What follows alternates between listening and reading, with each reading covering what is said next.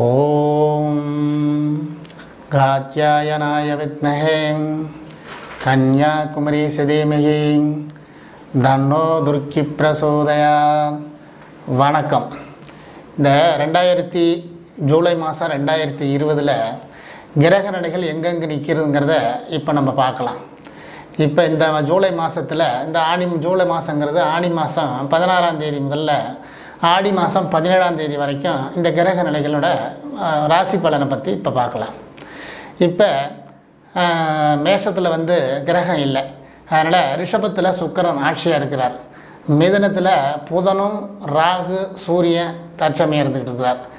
இப்போ விருச்சகத்தில் சந்திரன் தற்சமயம் ஒரு ரெண்டரை நாளைக்கு வரைக்கும் விருச்சகத்தில் இருப்பார். அப்போ தனுசில் குருவும் குரு இல்லை த குருவும் வக்கர நிலையிலையும் சனி கேதுவோட சேர்ந்துருக்கிறார். மீனத்தில் செவ்வாய் இப்போ இந்த கிரக நிலைகள் இந்த மாதம் முழுக்க இருந்துகிட்டு இருப்போம் ஜாதகத்தில். இப்போ இந்த இந்த ஜூலை மாதத்திற்குரிய மேசராசியினுடைய பலனை மட்டும் பார்க்கலாம். இந்த மேசராசியில் ஒரு ஜாதகர் பிறந்தர்னா மேசத்தில் பிறந்தோர் மேதாதி ஆவார் மேடு பள்ளம் ஏறி குதிப்பார். காவடி சிந்து பாடினாலும் கைப்பொருள் நிறைய சம்பாதிப்பார். சொத்து சுகம் நிறைய உண்டு.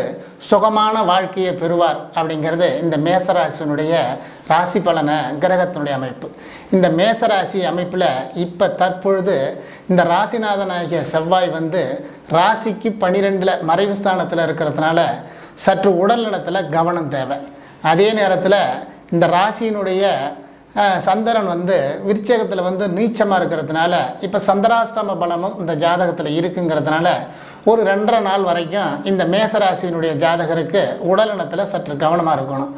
அப்போ ராசி பலம் கிரக நிலையில் இவர் வந்து தனாதிபதி என்பது ஆட்சி பெற்றிருக்கல தனயோகத்தை ஓரளவுக்கு நல்லதை செஞ்சாலும் இப்போ இவருக்கு நடக்கிற இந்த ராசிக்கு ரெண்டரை கால் நாள் வரைக்கும் கொஞ்சம் கஷ்டத்தை கொடுக்குற மாதிரி இருக்கும்.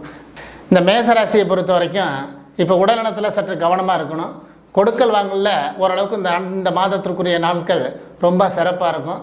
தனவரவு என்பது மிகவும் பலனும் மிகவும் பயனுள்ளதாக இந்த ஜாதகத்தில் இப்போதுக்கு அந்த ராசிக்காரர்களுக்கு இருக்கும். சகோதர ஸ்தானத்தில் பார்க்கும்போது அப்போ சகோதர ஸ்தானம் மூன்றாம் இடம் என்ற ஸ்தானத்தில் புதன் மட்டும் வக்கர நிலையில் இருக்கிறதுனால சகோதர வர்க்கத்தில் கொஞ்சம் சலசலப்புகளை உண்டு பண்ணுறதுக்கான வாய்ப்பு இந்த ஜாதகத்தில் இருக்கும். அது இந்த மாதத்தில் இந்த ஆனி மாதம் ஒரு நான்கு தேதிக்கு மேலே சிறப்பான ஒரு நற்பலன் கொடுக்கறதுக்கான பவர் இருக்குது அப்போ அம்மா ஸ்தானத்தில் பார்க்கும்போது நாலாம் இடத்தை பார்க்கும்போது சுகஸ்தானம் சொல்லக்கூடிய சந்திரன் வந்து ஒரு ரெண்டே கால் நாள் வரைக்கும் விருச்சகத்தில் இருந்து நீச்சலில் இருந்து சந்திராசம் இருக்கிறதுனால இந்த அஸ்வினி பரணி கார்த்திகை நட்சத்திரக்காரர்கள் மட்டும் சற்று கவனமுடன் இருக்கணும். கொடுக்கல் வாங்கலில் கொஞ்சம் வந்து தாமதப்படுத்தும் தாமதத்தை கொடுக்கும். மற்றபடி இந்த ராசிக்கு எந்த விதமான இப்போதைக்கு எந்த பிரச்சனையும் ஜாதகத்தில் வராது. அப்போ நாலாம் இடம் சுகஸ்தானத்தில் இருந்தால் ஆடு மாடுகள் வாகனத்துங்களில் கொஞ்சம் வந்து கொடுக்கல் வாங்கல் கொஞ்சம் கொஞ்சம் பிரச்சனை இல்லாமல் இருக்கும். அதை மட்டும் கொஞ்சம் இந்த எட்டு தேதி வரைக்கும் கொஞ்சம் கஷ்டத்தை கொடுத்தாலும் பின்னாடி வருகின்ற அடுத்த ஆணுக்கு எட்டு தேதிக்கு மேலே ஒரு சிறப்பான பலனை கொடுக்கறதுக்கான பவர் இந்த ஜாதகத்தில் இருக்குது பூர்வ புண்ணிய ஸ்தானக்குரிய சனி சூரியன் வந்து இவர் வந்து மிதனத்தில் ஆட்சியாக இருந்தாலும் இவர் சனி பார்வை பெறுவதுங்கிறதுனால பூர்வீகத்தில் சின்ன சின்ன சிக்கல்கள் இருக்கலாம். கொடுக்கல வாங்கல கொஞ்சம் தாமதம் இருக்கலாம். இடம் விட்டு இடம் மாறுறதுக்கான வாய்ப்பு இந்த ஜாதகத்தில் வரும். அந்த நேரத்தில் தாய் தகப்பான தகப்பனாருக்கு சற்று உடல்நலத்தில் பாதிக்கிற மாதிரி இருக்கும். இருந்தாலும் விரைய செலவுகள் வந்தாலும் அது சுப செலவாகலாம். இந்த எட்டாம் தேதிக்கு மேலே வாடுறதுக்கான வாய்ப்பு இருக்குது இந்த ஆண்டுக்கு வந்து எட்டாம் தேதிக்கு மேலே ஒரு சிறப்பான பலனை கொடுக்கறதுக்கான பவர் இந்த ஜாதகத்தில் உண்டு. அது வரைக்கும் போட்டு சாமதம் தாமதமாக இருக்கணும். அப்போ சுகஸ்தானம் என்பது ஓரளவுக்கு நல்லா இருந்தாலும் சுகத்துக்கான பிரச்சனைகள் எதுவும் இப்போதைக்கு வர்றதுக்கான வாய்ப்பு கெடுதல் இல்லை. அப்போ பூர்வீக சொத்து என்று சொல்லக்கூடிய அமைப்பில் சில பிரச்சனைகள் வந்தாலும் அது இந்த எட்டாம் தேதிக்கு மேலே ஓரளவுக்கு பிரச்சனைகள் தீர்றதுக்கான வாய்ப்பு இருக்குது அதை கொடுக்கல் வாங்கலாம் கொஞ்சம் தாமதப்படுத்தும். அதை பின்னோக்கி சற்று பொறுமையாக இருந்து கையாண்டிங்கன்னா அது இன்னும் சிறப்பாக இருக்கிறதுக்கான வாய்ப்பு இருக்குது ஆரோக்கியம் மேம்படும். உடல்நலம் நல்லா இருக்கும் பண வரவு அதிகமாக இருக்கும் பொருள் வரவு நிறைய இருக்கும் குடும்பத்தில் நிம்மதி இருக்கும் ம கணவன் மனைவிக்குள்ளே ஒற்றுமை மேலோங்கும் நண்பர்களுடைய ஆதாயம் கிட்டும் ஆதாயம் கிட்டும். மே மேசராசி அன்பர்களுக்கு அப்போ இந்த இந்த அடுத்த ஸ்தானத்தில் பார்க்கும்போது இவர் சூரியன் வந்து பலமுடன் இருக்கிறார். இருந்தாலும் ராகுவோட சேர்ந்துருக்கிறதுனால தகப்பருக்கு அப்பன் வகத்துக்குள்ள சில சின்ன சின்ன பிரச்சனைகள் கொடுத்தாலும் சலசலப்புகள் இருந்தாலும் மேலே இந்த எட்டாம் தேதிக்கு மேலே ஆடி மாதம் வந்து பதினேழாம் தேதிக்கு மேலே அப்போ சூரியன் நல்ல இடத்துக்கு வர்றதுனால இன்னும் சிறப்பான பலனை கொடுக்கறதுக்கான வாய்ப்பு இந்த ஜாதகத்து ஜாதக ராசிப்படி நிறைய இருக்கும் ஜாதகம். அப்போ ஆயுள் காரகன் நல்லா இருக்கிறார். ஆயுள் சாணாதிபதி வலுப்பெற்று இருக்கிறார் தனக்காரகன் இந்த ஜாதகத்தில் வலுப்பெறுகிறார். சூரிய சனி என்பது ஒன்பதில் இருந்து குரு சனி ஒன்பதில் இருந்தாலும் அந்த ஒன்பதாம் இடம் வலுப்பெற்று இருக்கிறதுனால பூர்வ புண்ணிய பலன் ஜாதகத்தில் உண்டு. இடம் விட்டு இடம் மாறுற மாதிரி இருக்கும் இந்த ஜாதகத்தில். பொருளுக்காக இல்லை தொழிலுக்காக வெளியிடத்தில் போய் வர்ற மாதிரி இருக்கும் இந்த ஜாதகம். அப்போ மேற்படி என்பது தொழில் ஜீவனம் பண்ணுறதுக்கு வர்றதுக்கான வாய்ப்பு இந்த ஜாதகத்தில் உண்டு. அப்போ இந்த ஜாதகத்தில் லாபம் என்பது சிறப்பாக வரும். அப்போ யோகத்தை நிறைய கொடுக்கறதுக்கான வாய்ப்பு உண்டு.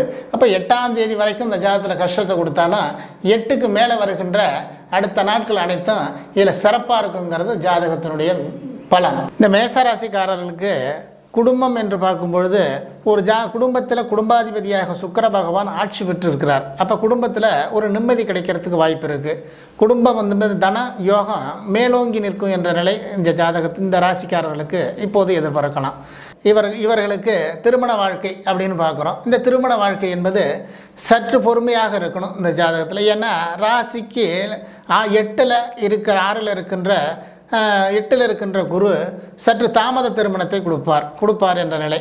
அப்போ இந்த ஆண்டு இந்த மாதத்தின் கடைசி நிலையில் இவரோட திருமணம் என்பது நடக்கிறதுக்கான வாய்ப்பு இந்த ஜாத இந்த ராசிக்காரர்களுக்கு இருக்குது அப்போ இவருடைய யோகத்தை பொறுத்த வரைக்கும் இந்த இந்த ராசிக்காரர்களுக்கு இப்போ சற்று சிறப்பாகவே இருக்கிறதா இந்த ஜா- இந்த ராசிக்காரர்களுக்கு நம்ம எதிர்பார்க்குறோம் ஜாதகம். அப்போ தொழில் அல்லது ஜீவனம் அப்படின்னு சொல்லும் பொழுது இந்த ஜீவனம் என்பது உத்தியோகத்தில் இருப்பவர்களுக்கு சற்று இப்போ சில சிரமங்களை கொடுப்பதற்கும் வாய்ப்பு இருக்குது அப்படின்னு எதிர்பார்க்கலாம்.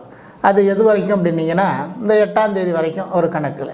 அப்போ ரிஷபராசிக்கு மேச மேசராசிக்கு ராசிக்கு எட்டுக்கு மேலே ஓரளவுக்கு சிறப்பாக இருக்கும் அப்படின்னு எதிர்பார்க்குறோம் ஜாதகத்தில்.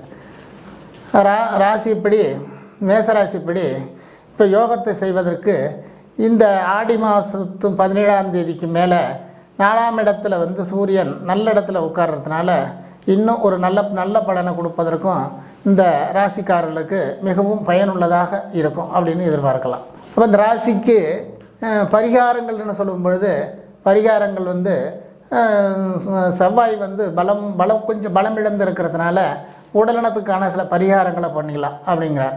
அது என்ன பண்ணணும்னா ராசிப்படி இவருக்கு இது தட்சிணாமூர்த்தி வழிபாடு பண்ணலாமா அப்படின்னா அது சரியாக இந்த ராசிக்கு தட்சிணாமூர்த்தியினுடைய வழிபாடு மிகுந்த நன்மையை ப நன்மையை கொடுக்கும். அடுத்து சிவன் கோயிலுக்கு சென்று வர்றதும் இந்த ராசிக்கு மிக பயனுள்ளதாக இருக்கும்.